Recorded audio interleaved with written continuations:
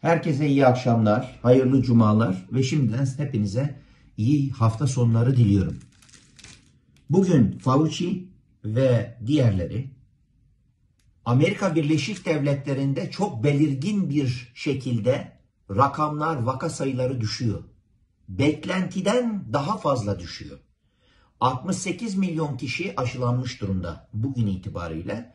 Aşılama peynir ekmek gibi devam ediyor. Ve inşallah bugün de tek doz olan Johnson Johnson aşımızın onayı alınmış olacak.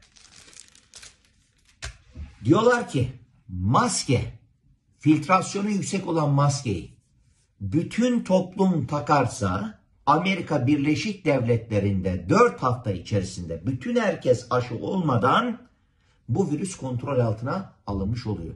Biz bunu ta bir yıldan daha fazla süre önce söyledik. Ben bu maskeyi takmam.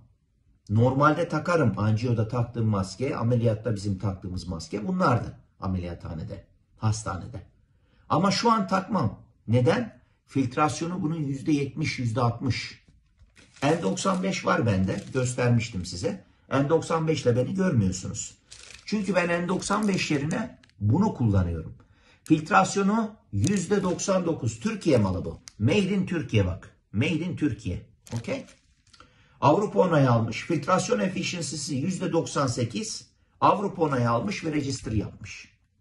Amerika Birleşik Devletleri'nde de bu maske şu an internet üzerinden satılıyor. Türk bayraklı olarak da satılıyor. Şimdi bu maskeyi bilim kurulu sözde size ne diyor? Her 8 saatte bir değiştir. Her 8 saatte bir değiştireceğim. Birincisi bu. Herkes de bundan var mı? Bir, birden fazla taşıyor mu? Bunun kadar efficient değil. Bunu ne yapacaksın? Çöpe atacaksın. Çöpe atmazsan nereye atacaksın? Yere atacaksın. Ben bunun yerine hem antimikrobiyal özelliği olan hem de efficiency yüksek olan bunu kullanıyorum. Her iki günde bir yıkıyorum. 8 saatte bir değiştirmiyorum ve kendimi koruyorum.